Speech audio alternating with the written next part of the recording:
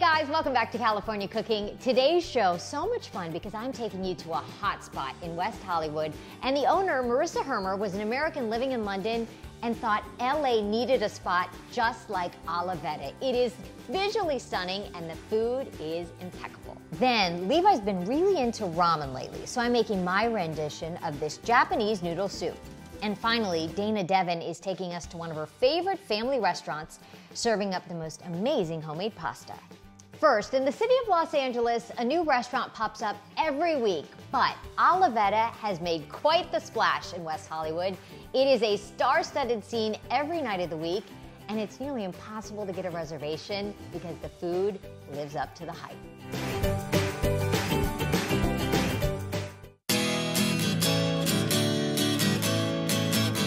Hi, how are you guys?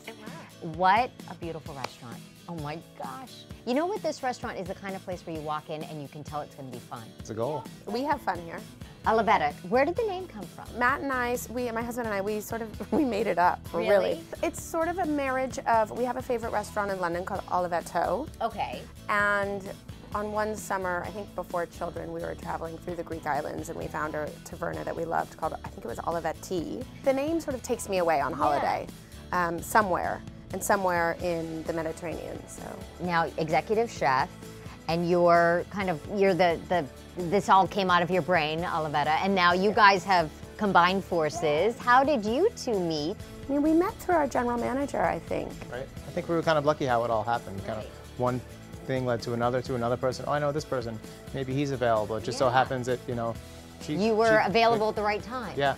And then, do you guys, when it comes to a menu, do you work closely? Do you just let Michael do his thing? I think we're really lucky in the sense that our visions aligned mm. Nice. so so so perfectly that has really, I mean, so far, been easy. But when you look around the room, it's got that lounge kind of feel, right? With the, the these pretty like velvet colored benches where you just feel like you could just hang. I feel more comfortable when there's a lot going on, and especially for a fun, fabulous, sexy restaurant like Olivetta, I think if it was a little bit too prim and proper, I would feel like I had to behave, and I don't want to behave. I want to let my hair down, I want to have too many tequilas, I want to have a great night. And so I think the design lends to that. It sort of makes you want to be a little footloose and fancy free. I have to confess, I was a huge Ladies of London fan. So you were American, an American living in London. That's where you met your husband, Yes. right? Uh, you had restaurants in London. Yes. And then now are you full time back in the U.S. or what? We're what? full time back in the U.S. Yeah. I mean, our children go to school here. Um, we have this is our second restaurant Mm-hmm. in Los Angeles. Our first, the Drake in the Pacific Palisades, we opened over a year ago. the menu.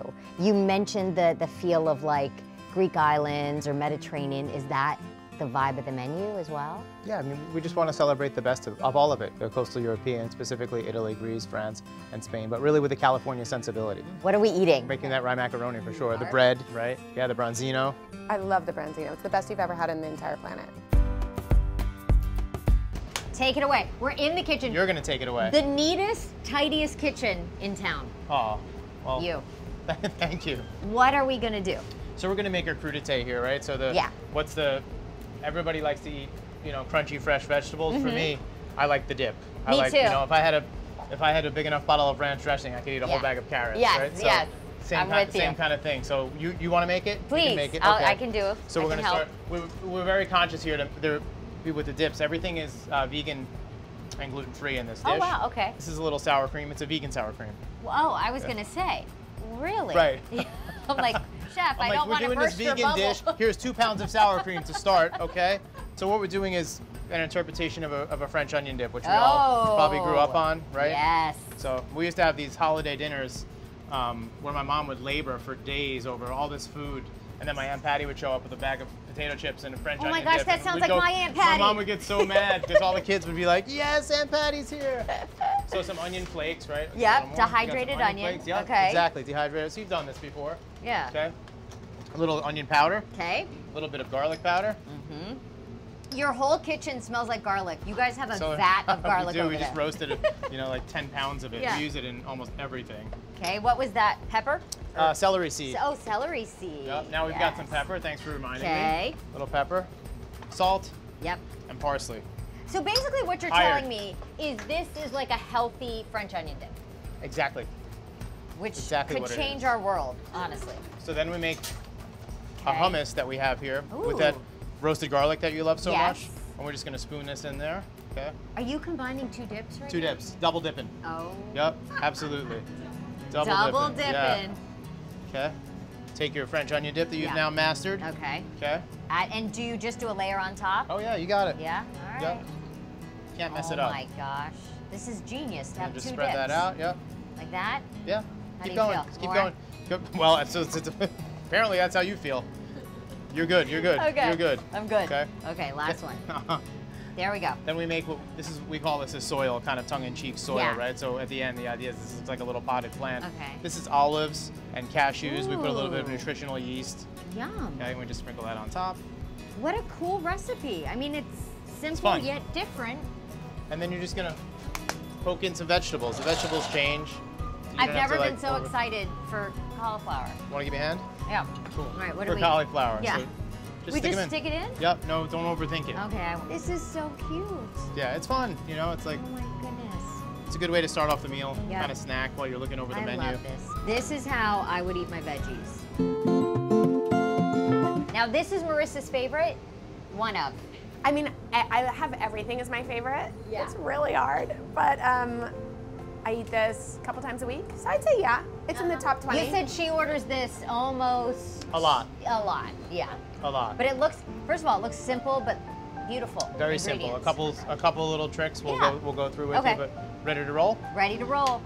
So this is a, this is our arugula cashew pesto. Mm-hmm. Very kind of a take on it. Everyone's used to the traditional pesto of what you know, the Genovese pesto of garlic, raw garlic, and basil, and Right. parmesan and pine nuts. So this is inspired by that, of course. But we just took a few um, little twist in it to make it a little like bit different. it, kind of. yeah. Yeah, we like to do that a lot. Offer things to people that are super familiar to them. Like Yes. pesto, everyone's eaten their whole life, but give it to them in a way that maybe they've never tried before. Yeah. So- Although ice cubes, that, that, is there a trick here with the ice cube? What's that? Trick with the ice It's from cube? Marissa's tequila.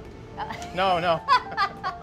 Toasted cashews, right? We toast them, so that gives the pesto like a, a really rich, sa- sa- savory, nutty flavor. Obviously, we use roasted garlic, the stuff you've been smelling all morning. Basil, okay.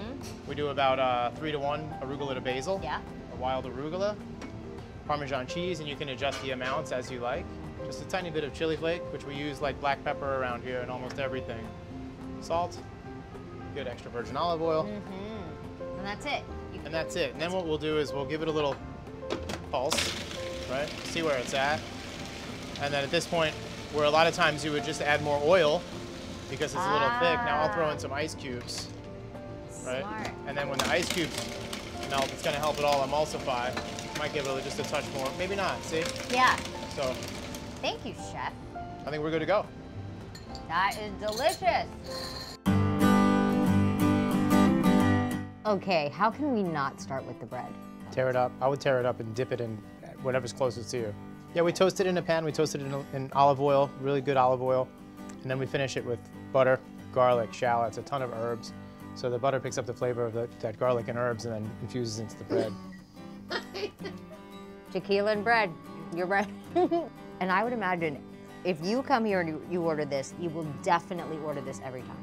As I have a moment, we'll talk about okay, there's our cute appetizer we made. Right, you made. You're hired, by the way. Do you want a job? yes, I do. I'm gonna put you on the line. Yeah. See, I would eat too much of the uh, the product. Mmm. That is so good. The vegan sour cream. You would not know. Should we talk about the branzino? Simply grilled.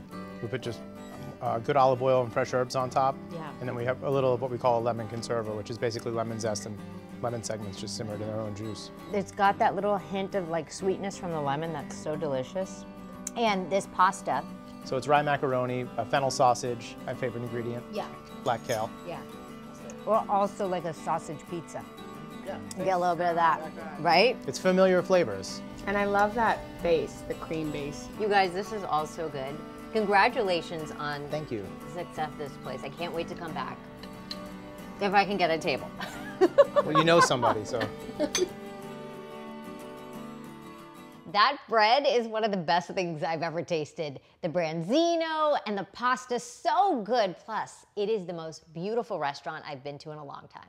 To get that vegetable crudité and arugula pesto recipe that would be good on any pasta, you can follow us on Instagram at KTLA California Cooking. Coming up, instead of cooking a few times a week, Dayna Devon chooses to take her family to Osteria Mamma. She'll show us why. Plus, I'm making my version of ramen. Comes together in no time, but we'll Levi like it? We'll find out.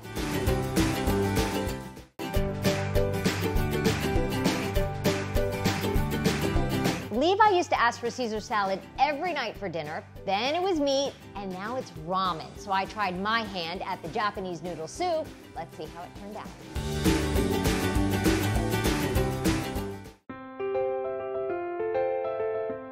So the other night for dinner, I stumbled upon something that has now become a hit in our household, and it's ramen, of all things. I don't know how to make ramen the authentic way, obviously. And everybody is familiar with the ramen noodles in the packet with the seasoning packet, which I didn't want to do because I know how much salt is in that seasoning packet. So basically, how it evolved at home is I had a bunch of leftover tri tip. And I thought, what am I gonna do with this? I had some beef broth, I had some pasta, lots of veggies, some seasonings, and it was my take on ramen. And my husband and Levi, they loved it. And now, almost every night, Levi goes, Mom, can you make that soup again? So I'm gonna make it, it's evolved. This recipe keeps evolving. But what's great about it is it's full of veggies and it's yummy. Another thing that I put on there, I happen to have cabbage in the fridge that night that was already seasoned with vinegar from the night before, something we ate. Put that on top. So I'm gonna make that now. I'm gonna cut up some white cabbage. This adds a really nice crunch to the soup, and I'm just going to, it's better if you were to let this sit overnight, but if you can't, just a few minutes will will be good. I'm going to, you can do white vinegar or rice wine vinegar, and this is seasoned rice vinegar. And what you wanna do is season and soften this cabbage. So vinegar will do that. Let that sit, and we'll move on to cutting up our veggies. So again, this soup, any veggie you're into, I'm gonna do some red pepper, because it's what I had, and some carrot.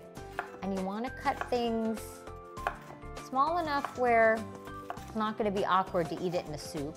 This is my favorite way of cooking is making stuff up when I have not, you know, I don't know what I'm doing for dinner and I just look around and see what I can come up with. That's my favorite way to cook. Following a recipe, not so much for me, but, and then it makes me so happy when I figure something out that they like. Some green onion to garnish, and then here's what I found at Whole Foods. So you could do the, the ramen packet that you find at every grocery store. I just omitted the seasoning packet and used the noodle. And then I found this, which I never discovered before, just individual packets of ramen. So that's an option. And the first night I made it, I didn't have ramen, so I just used thin spaghetti. I know that might be shocking to some people, but I, that's what I had. A few mushrooms, let's slice up our mushrooms. Thin slice, and I was gonna do a beef broth, uh, but then I decided let's go veggie on this, and I found a miso broth, which I think will be great. This again at Whole Foods, but if you can't find that, you could do a veggie broth, you could add some miso, you could omit it. Totally up to you, but since I found that, I thought, let's do it. Let's give it a try. And miso is derived from the soybean. To start our soup, some avocado oil, and I'm gonna grate in some ginger, fresh ginger, thick knob of ginger, which will probably give us about maybe a teaspoon, two cloves of garlic. So that's gonna get going on a, low heat. You don't wanna burn the ginger or the garlic. So just get that warmed up where you can smell it. And right before it browns, but you start to smell it, is when we add in our broth. So we'll take our miso broth, and this is just a way to add flavor to a boxed broth. And we'll stir that around, put it on medium heat, and now we're gonna add our veggies. First, our carrots and our peppers, because that's gonna take a little bit longer to cook than the mushrooms. So add those into our broth, and then we'll just let that simmer until those start to get soft. Okay, you guys, this is this is why sometimes you just stick with what you know. So when I initially made this, it was with beef broth.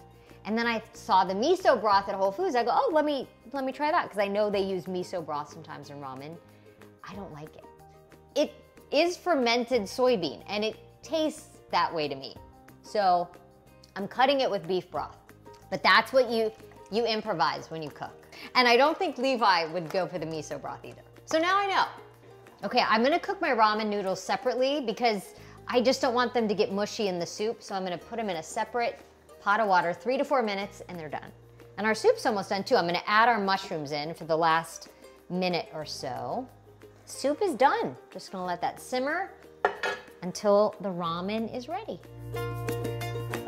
Ramen is about done. It's been three minutes. Add it to my soup bowl. And this is why I liked it separately, so it doesn't keep overcooking in the broth. All right, over here, let's add our broth with all the veggies. This smells really good. Okay, we've got our hot soup. It smells so good. I'm gonna put some more green onion. And then I'm gonna add our cabbage that softened a little bit. It'll add some nice crunch to our soup. Sesame seeds, and then our cute little egg. Hopefully, it might be a little too soft. It looks like it might ooze, but that's okay. Some people like the ooze of the egg. For Levi, I wouldn't do the sriracha, but for me, definitely. And also a little toasted sesame oil on top. Voila! Our ramen full of veggies and some chopsticks. I really liked how my ramen came together, but will Levi like it? Coming up, we'll find out. Plus, Dayna Devon takes us to one of her favorite family restaurants serving up the most amazing homemade pasta. That's coming up next.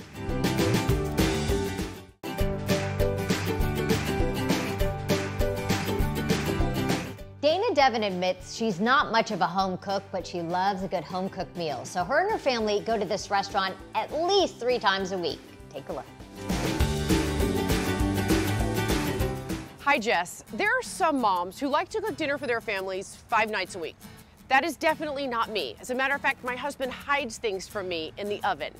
So we come here to this restaurant all the time. It's one of our absolute favorites. And I want to take this opportunity to introduce you to my favorite brother and sister team, the co-owners of Osteria Mamma. God, these pictures are so great. So I love that this restaurant is all about family and that one of the things that you use to decorate the restaurant is old pictures of family. These uh, are my aunt and uncle. Okay. My grandparents with me. That one actually is me and my little brother. You were holding your little brother. Yes. Oh my God. Wow, you got pictures from all the way back. So what was your point in, in putting up these pictures in the restaurant? Every recipe Mama put on the menu is attached to our history. I mean, a mm-hmm. story of the family. The majority of the dish we have in the menu, it has a story behind. That's incredible. Awesome. That's the legacy, you know, we have with Mama, and we don't want to lose that.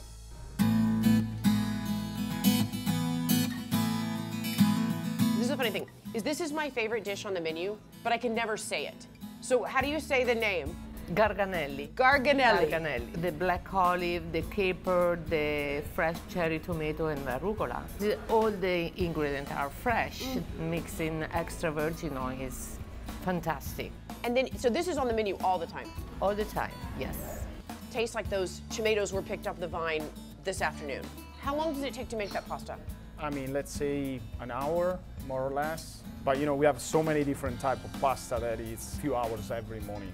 It's amazing. Monday through Saturday. It's so great that you guys do this here. Okay, now tell me about this dish. What is this? Our version of uh, chicken nuggets. Uh, Right. Definitely healthier. It's a baked chicken, Okay. you know, in uh, almond and fennel. We serve it with mashed potatoes. And it's a recipe very, very old. It's, I mean, we're talking about Really? Renaissance. From the Renaissance in the Middle Ages. Oh my gosh, okay. Mmm, it's delicious. What do we have here? Bigoli, it's, uh, it's a noodle from our town.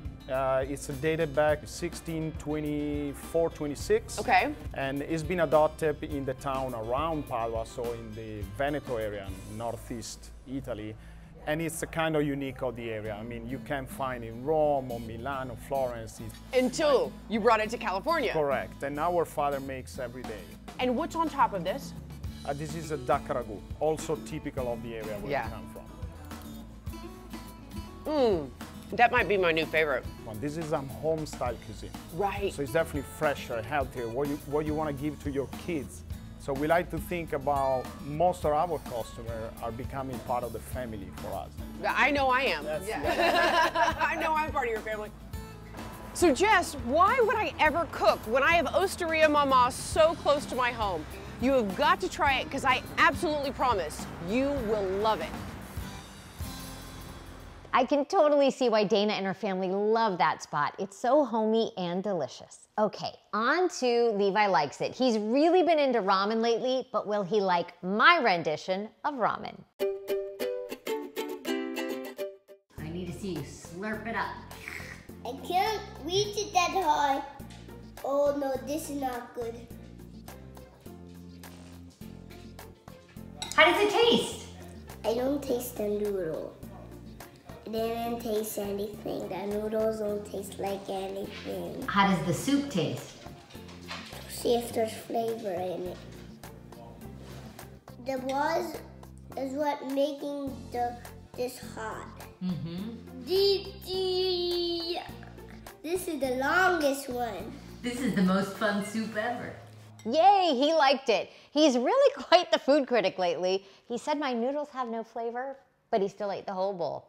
Well, that's it for us. For more of my conversation with Marissa and Chef Michael of the newest hotspot, Olivetta, you can check out my California Cooking Podcast. Thanks for joining us, and we'll see you next week.